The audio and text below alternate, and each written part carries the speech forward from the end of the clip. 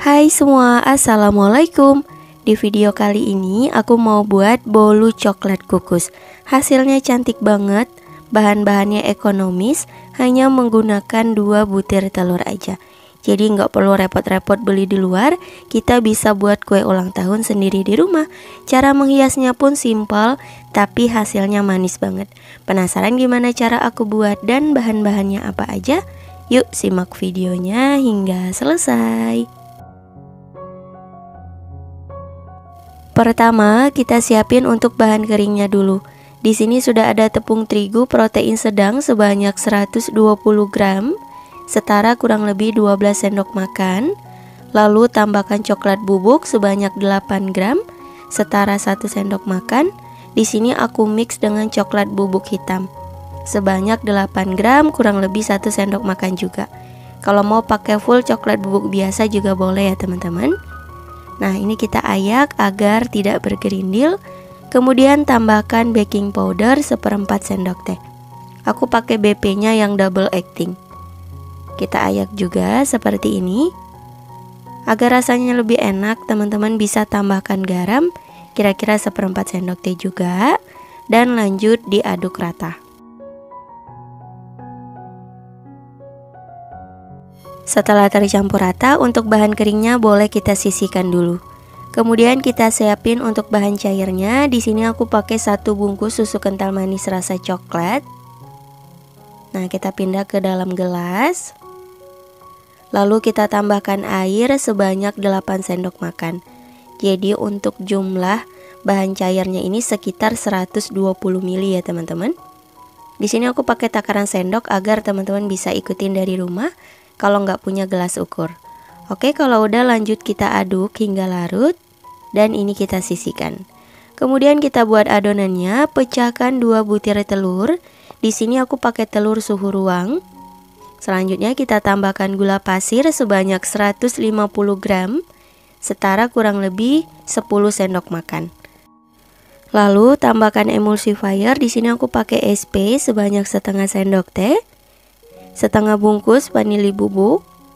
Nah, sedikit aja. Dan kita tuang larutan susu cairnya. Dituang semuanya ya, teman-teman. Aku sering banget menggunakan metode seperti ini. Menurutku hasilnya jadi lebih ringan dan lembut gitu teman-teman Oke lanjut kita mixer Pertama kecepatan rendah dulu hingga rata Kalau udah tercampur rata naikkan kecepatannya menjadi kecepatan paling tinggi Terus di mixer hingga adonan mengembang selama kurang lebih 10 menit.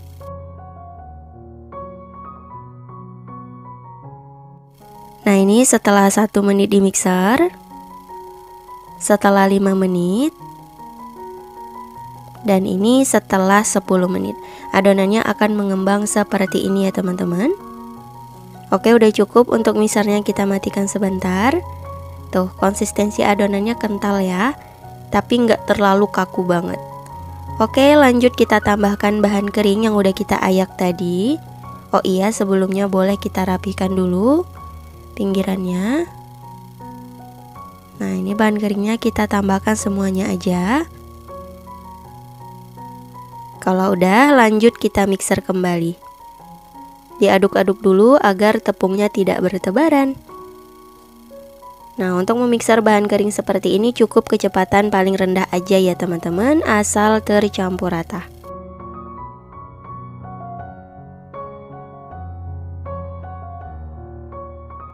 Nah, jadi asal aja seperti ini aku rasa udah cukup untuk mixernya kita sisihkan. Seperti biasa, lanjut aduk menggunakan spatula. Pastikan tidak ada bahan tepung yang masih mengendap ataupun menggumpal. Gunakan metode aduk balik seperti ini untuk mempermudah.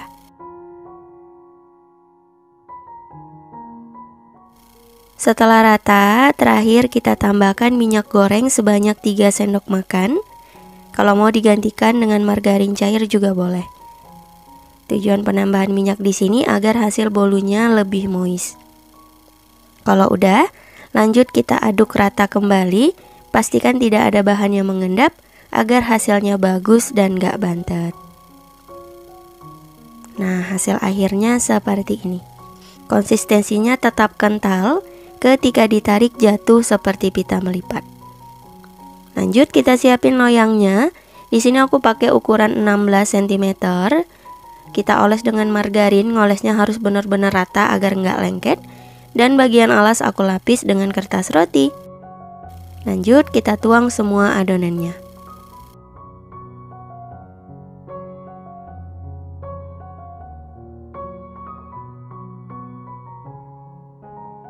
Untuk mengeluarkan gelembung udara di adonan, ini kita tusuk menggunakan penusuk sate seperti ini. Kita putar-putar. Nah, kalau udah lanjut dihentak-hentakan sebentar. Adonan udah selesai, siap untuk dikukus. Sebelumnya sudah aku panaskan panci pengukus, pastikan airnya sudah mendidih. Langsung aja kita masukkan loyang berisi adonan. Nah, ini akan kita kukus selama kurang lebih 25 menit menggunakan api sedang cenderung kecil. Dan jangan lupa jika teman-teman menggunakan panci yang penutupnya harus dilapis serbet, dilapis ya, agar uap air tidak menetes ke permukaan adonan. Setelah kurang lebih 25 menit, ini dia hasilnya. Alhamdulillah, bolu coklatnya sudah matang. Langsung aja kita angkat dari panci pengukus. Kalau mau dites tusuk dulu boleh ya teman-teman. Kalau kering dan tidak ada adonan menempel, tandanya sudah matang.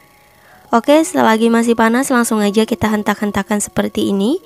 Jadi nggak perlu disisir pinggirannya ya, agar hasilnya bisa mulus. Kalau udah lanjut kita beri alas dan dibalik. Perlahan karena ini loyangnya masih panas banget. Kita lepaskan loyangnya. Masya Allah hasilnya cantik banget ya. Mengembang sempurna. Dan itu maaf banget ada sedikit tergores. Gak apa-apa Ini kita lanjut lepaskan uh, kertas rotinya. Tuh hasilnya bagus banget Kita biarkan dulu hingga bolunya dingin setelah bolunya dingin lanjut kita hias. Di sini aku pakai coklat batang yang dicairkan. Untuk cara mencairkannya cukup kita tim aja di atas air panas ya teman-teman tanpa tambahan apa pun. Jadi coklat batang aja. Nah, kita ratakan seperti ini. Jadi menghiasnya simple banget. Kemudian kita tabur dengan meses coklat agar lebih nyoklat banget. Jadi double coklat gitu ya teman-teman. Kalau mau pakai keju parut juga boleh, pakai topping choco chips atau almond boleh. Disesuaikan aja dan agar hasilnya lebih manis ini aku hias menggunakan manisan buah cherry. Kita tambahkan stick ucapan seperti ini. Tuh, cantik ya. Nah ini dia birthday cake-nya sudah jadi Hasilnya cantik banget, simple Hanya menggunakan dua butir telur aja Teman-teman bisa buat kue ulang tahun sendiri di rumah Dan ini aku coba potong Berasa bolunya lembut banget. Tuh, aku coba ambil ya. Teman-teman bisa lihat sendiri Tekstur dari bolunya ini lembut banget. Dan ketika ditekan menul-menul gitu Empuk juga. Aku coba belah. Serat dari bolu ini lumayan halus ya teman-teman Lembut Aku coba dulu untuk rasanya gimana Bismillahirrahmanirrahim Hmm Hmm Rasanya enak banget, manis, super nyoklat dan juga lembut. Bisa nih untuk base cake kue ulang tahun. Selamat mencoba ya teman-teman. Semoga suka sama rasanya dan ketika cobain semoga berhasil.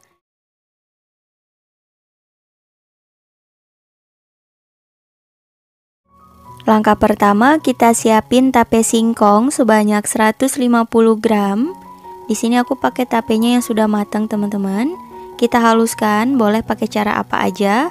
Kalau aku pakai garpu seperti ini aja udah cukup.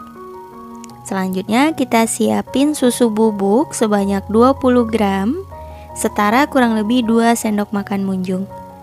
Lalu kita larutkan dengan air sekitar 10 sendok makan.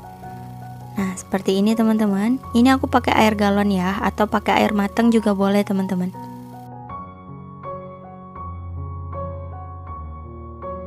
Kalau udah lanjut kita aduk hingga tercampur rata. Kalau udah rata, kita tuang ke tape yang sudah dihaluskan tadi. Nah, seperti ini. Kita tuang semuanya ya. Dan lanjut kita aduk hingga tercampur rata.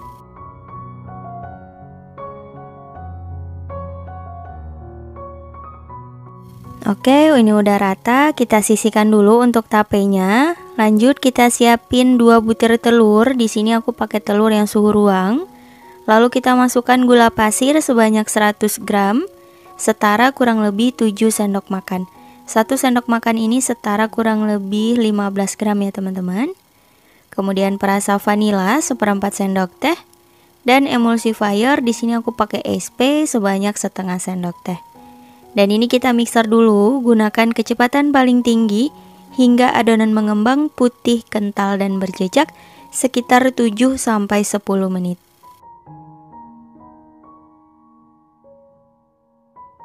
Nah, kalau aku di sini sekitar 8 menit aja udah cukup ya teman-teman. Adonannya sudah putih, mengembang dan berjejak seperti ini. Tuh, jadi adonannya nggak terlalu kaku ya.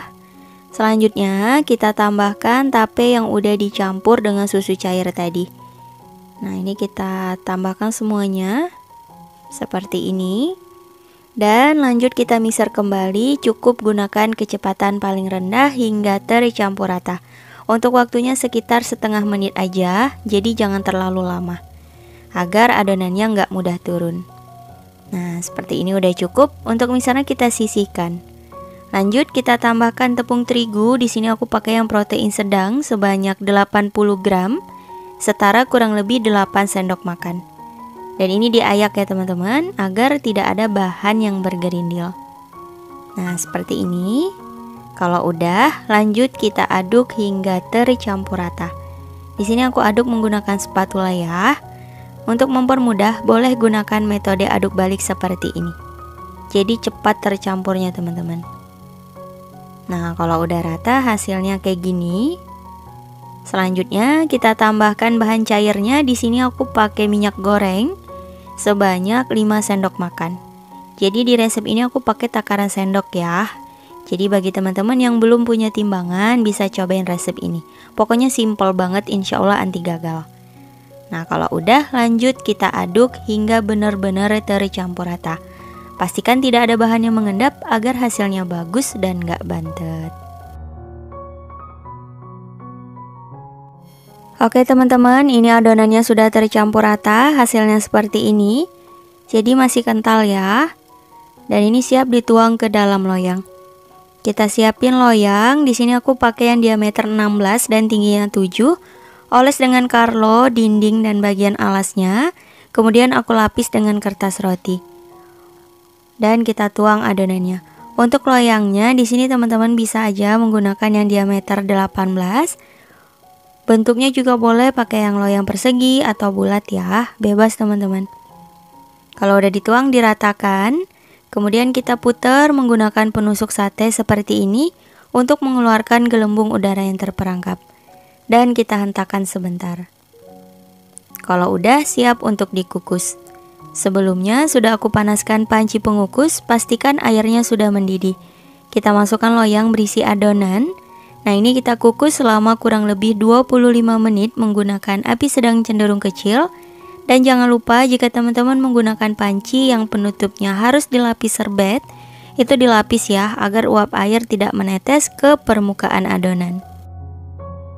Setelah 25 menit, ini dia hasilnya. Alhamdulillah, bolunya sudah matang Langsung aja kita keluarkan dari panci. Selagi masih panas, kita hentak-hentakan seperti ini. Jadi biar uh, bolunya itu melepas dari loyangnya. Jangan disisir ya teman-teman pinggirannya agar hasilnya tetap mulus. Nah, seperti ini. Cakep banget ya. Kita biarkan dulu hingga bolunya dingin. Setelah bolunya dingin, langsung aja di sini kita oles dengan buttercream secukupnya aja. Untuk bahan oles ini opsional ya, mau pakai selai boleh teman-teman. Gak dioles dan dihias seperti ini juga nggak apa-apa, disesuaikan. Lalu kita beri topping, di sini aku pakai keju parut dan juga almond slice. Untuk topping boleh sesuai selera.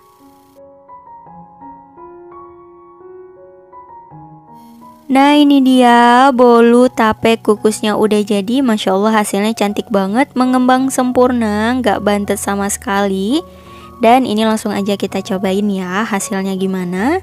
Ini aku coba potong bolunya. Masya Allah ini lembut banget teman-teman. Walau hanya dua butir telur aja hasilnya cakep dan lembut banget.